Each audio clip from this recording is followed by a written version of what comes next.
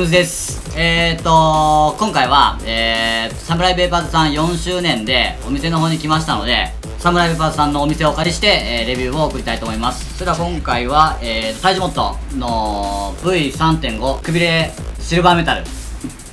のレビューしていきます。まあこちらね、最近出た、あのー、メッキ、またこちらの方にした動画出しますけど、えーと、メッキ加工されたくびれになります。また他にも、ジェットプールのメッキ加工、あと、金メッキの加工、これローズゴールド。あ、ローズゴールド。と、まあ、漆。まあ、これ今店頭にあるのみの在庫になりますね。と、えっ、と、あと、ブラスガーレンね。ブラタ金だよね。そうですね。これが、えっ、と、カッパーに近い、銅っぽいローズゴールドで、あともう一つ、えっ、と、ブラスに近い金メッキもあるんですよね。で、今、在庫がないんで、今、あの、お見せできるのが、このような感じになりますね。では、えっ、と、サムライの店長さん、シェイジさんに、まあ、こちらの魅力を、あの熱く語ってもらおうかなと思います。では、シェイジさんお願いします。はいということでやってまいりました皆さんこんにちはせいじですえー、ということでえー、体重モットのねご紹介をさせていただきたいなと思いましてこちらの動画に出ました自分も今実際に使ってるんですけど、まあ、これブラスにシルバーメッキ、まあ、99%純度があるシルバーメッキですね。こちらをメッキ塗装しておりまして、まあ、中もしっかりメッキかかっててでコンタクトももちろん全てシルバーメッキですね。で今回、えー V3 だとロックがなかったと思うんですけど V3.5 になりまして、えー要はデッドプールタイプこのタイプとスイッチが互換性ができたのでこちらもね V3.5 になってからロックが使えるようになりました。でまあこういうねロックがなかったら不安という方もいらっしゃったのでそういう方にはかなり V3.5 に関してはぴったりかなと思います。で一応あとはねもう24金メッキとこれローズゴールドですね。とかもあるのでやっぱその人のね好みによって多分変わると思うんですけどメッキの良さっていうのはやっぱりくすまないからあのお手入れとかも要は拭ってあげるような布とかで拭ってあげるぐらいにいいと思うので。でまあねあの前の3.0はまあロックがないっていうのはまあ普通にスイッチえっ、とまた手元でね動画出しますけどえっ、とまあこのスイッチ部分がまあこういうものだったのが3.5になってこの形状に変わったと。なのでロックができるまああのダブルをご存知の方だったら、まあ、ダブルのやつのスイッチ部分だけ移植した感じになるんでまあ分かりやすいかと思いますね、あとは漆なんですけど、まあ、今うちにある3.5のパープル紫の漆がこういう色合いなんですよね。これが、えー使ってると手の油とかでだんだんテカテカになってくる。こういう経年変化もね楽しめるかなと思います。っていう感じで今ご紹介しました。全然聞いてなかっ メタル。たえでも分解して中身したたりとか？あ一応ボトムスイッチとかは全部うん。載せたんですけどもう全部分解しちゃっていいですか？そしたら手元の動画。では手元でえっ、と開封していきたいと思います。えっ、と場所は変わりましていつものいつもの撮影場所になってます。ではえっ、とねえっ、とこれが、えっ、と、今、レビューしてます、えっ、と、シルバーメタル V3.5、えー、くびれシルバーメタルのボックスなんですけど、以前のね、こちらがデッドプールの、えっ、と、1000人達成ギブアウェイで、侍さんからご提供いただきましたデッドプールの箱は、このようになってますね。で、えの、あのーあれです。シリアルカード。オーセンティックカードもこのように VIP と通常ものと違ってます。はい。で、まず VIP カードがあって、えっ、と、くびれ本体が入ってます。他は何も入ってません。以上になります。で、まあ、こちらにありますけどね。えーこちらが、えっ、と、3.5の、えー、とデッドプール。で、えっ、と、くびれ。まあ、あのースレッドはハイブリッド。で、えっ、と、形も変わりません。で、スイッチも変わりがありません。一緒ですね。で、中のあの、スリーブっていうかね、ここのチューブ本体の部分がくびれかデッドプールの、まあ、ローレットが主体のチューブになってるからですね。で、前の、えー、こちらはデッドプールの、えー、っと、雪シリーズのパープルになります。以前私のやった、えー、と、くびれの方のね、ピンク。まあ、に、色がね、ピンクだけ見ると紫かピンクかわかんないですけど、比べてみるとこのぐらいの違いはありますね。はい。で、スイッチ部分は、ちょっとだけ、えっ、ー、と、これ、この、このね、ひしが、メッキの方が大きいんですよね。このひしのサイズがね、ひし形のサイズが大きい。まあ、それぐらいですかね。では、まず、えー、サイズから割っていきます。えっ、ー、と、直径は25、4.9になります。で、長さは90.5。まあ、多分デッドプールも、まあ一緒ですね、ほぼね。そして、25ですけど、ここ、あの、以前も話しましたが、面取り加工してるんで、この面を取った部分で 24mm になってます。では、重量の方、上がってきます。くびれは、え179.1。えデッドプールは209.5と、まあ、デッドプールが重たいですね。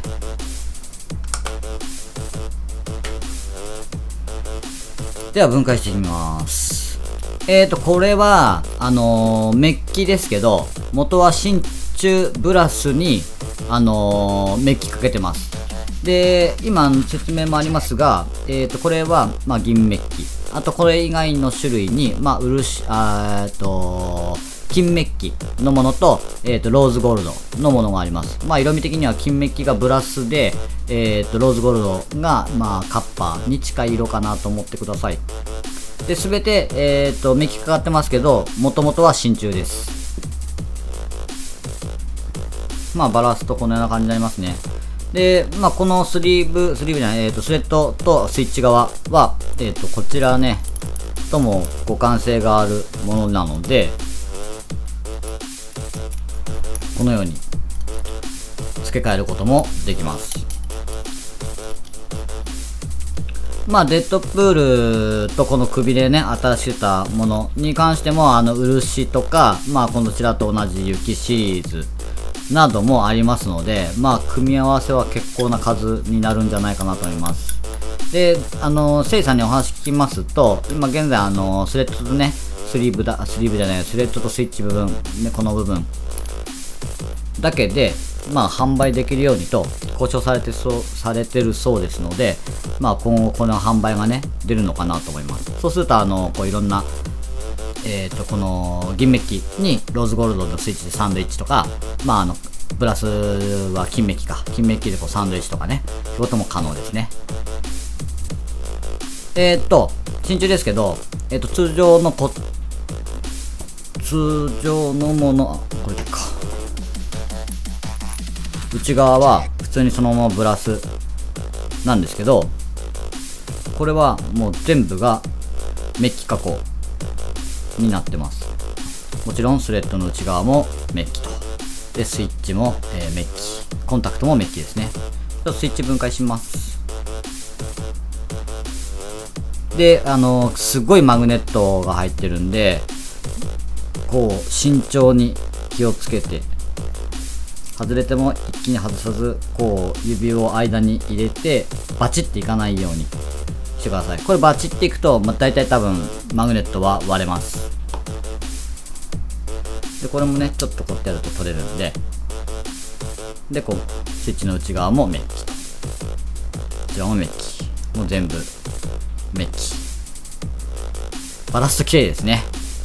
まあこのようなパーツ構成。となってます。で、メッキなので、まあ、ここでね、あの、スパークとかこうやっても、あんまりあの、削っちゃうと、中の、これは、えっ、ー、と、スイッチはカッパーにメッキかな。なので、その、字が出ちゃうんで、まあなるべくこうペーパー掛けとかねしないようにまあこの辺は綺麗にまあしないといけないと思いますけどまああんまりこうやりすぎにはね注意してくださいでは戻しますあの反発する方でねこうしてもらってまたこちらもバチっていかないように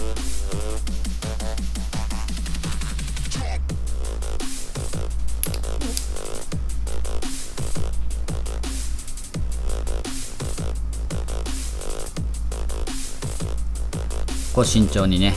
で、まあ、あのー、こちらもしバチっていって割っちゃった時、えっ、とダブル、大事のダブルですと、替えのマグネットついてるんですけど、こちらには付属されてないんで、あのー、侍さんの方にね、連絡していただけると交換してくれるそうです。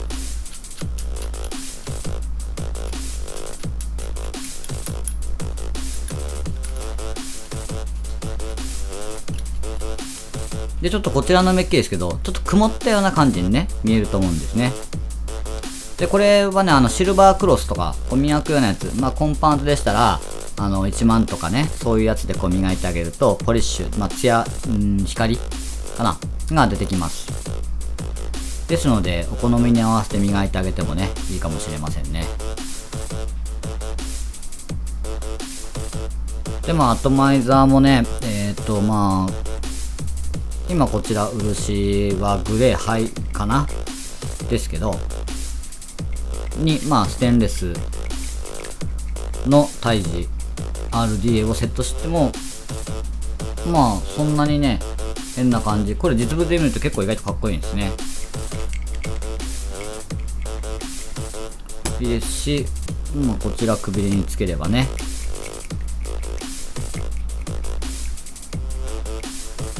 こんな感じ。まあちょっとなんか磨きたい感じもしますね。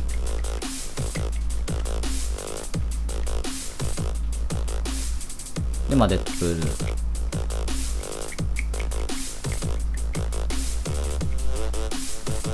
まあこのような感じまあタイジ RDA が 23mm なんで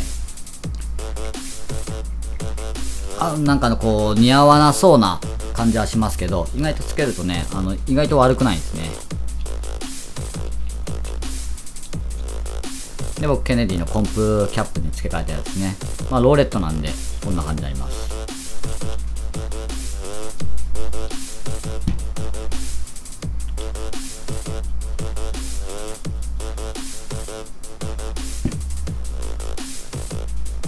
まあ、どこかこう磨いてこうバランスよくしたいなとかね、思いますね。まあ、リロードの RDA こんな感じまあ、デッドプールだったら、まあ、ここの、このくさびっていうかね、ひし形の加工部分だけこう、ポリッシュしてあげたりとか、まあ、スイッチでね、まあ、サンドしてあげたりとか、でも意外とこう、組み合わせ出るかなと思います。で、まあ、もちろんね、あのー、以前ね、レビューしたみたいに、えっ、ー、とプラスの純度が、えー、95%と結構高いんで、これは。あの通電いいんですけど、また改めて、えっ、ー、と、使用するときは、えっ、ー、と、バッテリーをプラスから、あの、ハイドレインのね、20A 以上、定格が 20A 以上のものを使ってください。私は VTC4、4を使ってます。で、プラス側から入れていただいて、スイッチを入れると。で、まあ、この時に今度はスレッドの方をね、緩めて、えー、スイッチ側、切り入れてから締め込むと。アトマイザーの方を締め込むと。こんな感じです今ちょうど私はちょっとコットンねだいぶ使ってるちょっと使って1日2日使ってるんで汚れてますがえっ、ー、と斎藤ファイヤーの社長さんにあのビルドしてもらったんですけどだいたいこんな感じ立ち上げます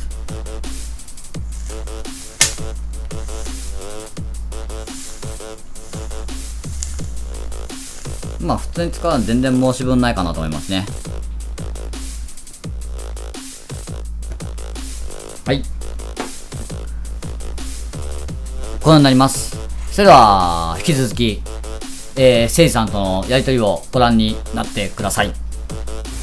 でまあ、あの今回ね、あのー、サムさんに来て、えーと、誠治店長と,、えーとレビューさせていただきましたけど、まあ、僕も実際使っててかかっこいいし、ね、握りやすいし、パフもしやすいんで、なまあ、あとは、えっ、ー、とね、上野に近くないと、あの、もの、実況をね、見ることできないんで、漆とかだとね、あの、やっぱ風合いとかものによっても違うし、なんで、ポンとね、あの、通販の方で購入に至るのは難しいかもしれないですけど、まあ、今度出てきたこのメッキ類、あの、ローズゴールド、えっ、ー、と、金メッキ、まあ、銀メッキは、全部一緒なんで、風合いは。うん。なのでまた通販とかでもねあの購入しやすいかなと思います。でちょっとあのくすんだ感じになってるんです。でまあこれとかはシルバークロスとかそういうのでちょっと磨いコンパウンドでもあの粗めじゃないもっと1万とかそのぐらいのやつで軽く磨いてあげるだけでツヤが出るそうなんでまあ僕はこうスレッドとスイッチだけを磨いて中はもう曇ったままとか逆にあの、えー、対局のマークとかだけを磨いたりとかって言ってちょっとしたこうアレンジはできると思うんでアトマイザーとかもあのポリッシュじゃなくても多分似合うような形とかも作れ作り込めるっていうかと思うんで結構合わせやすいんじゃないかなと思いますね。まあ漆とかも独特な色ですけど別にステンのアトマイザーとかも普通に全然合うんで僕も普通にケネディとかも乗っけたりもするんで。まあやっぱりあとは胎児 RDA もねあの結構フレーバーのやつで発売されてますんでまあ現在在庫切れです。在庫がもうなくなってしまいました。えー、入荷に関してはちょっと未定なんで、まあ、ただね、えー、入荷できるお届けしますあと今ローズゴールドあの、でスイッチとトップキャップが互換性があるって言ったと思うんですけどローズゴールドとシルバーでこうやって合わせてみたりとかそういうことも一応可能ですね。で今後うちでもカスタムパーツとして販売する予定です。あとは一応自分がえっとしあさってあさってかあさってに台湾の方に行って直接またお会いしますのでそこで、ね、いろんな話をして皆様にねまたいろんなものを紹介できればと思っております。はい、はい、まあ以上ですかね以上ですまたあの説明欄の方にあのサムライビさんのあのー、通販のサイトのリンクとか住所とかえー、Twitter アカウントのリンクと貼ってきますんで、よろしかったらご覧になってみてください。よろしくお願いします。はい。では、レビューは以上になります。それでは今回は、サムライさんからお送りさせていただきました。えー、最後に一言、せいさんから、どうぞ。はい。えー、じゃあ、えっと、ご視聴ありがとうございます。えー、そうですね、4周年イベントということで、うちも、えー、7月1日までやっていたんですけども、まあ、おかげさまでサムライペーパーズも、えー、4周年を迎えることができました。ありがとうございます。ということでね、えー、まあ、 Taiji Mod だったり、まあ、シュアファイだったり、いろんなね、うち売りにしてるものがいっぱいあるので、もし何かわからないことだったりとかありましたら、お気軽にお電話でも、メールでも、メッセージでもしてもらって構いませんので、ぜひご連絡ください。ありがとうございます。またあのね近場の方もまだ一度も来られてない行ったことないよって方もまああのせいさんこのこんな感じのキャラなんでまあお話もしやす話もねしやすいと思うんで、まあ、親切に対応してくれると思いますしぜひあのパンダ見ながらでも行ってみてください。それではえーと終わりにしたいと思います。では今回は大事モットの V3.5 首へえーとシルバーメタルでした、えー、最後までご視聴いただきありがとうございました。ありがとうございますありがとうございます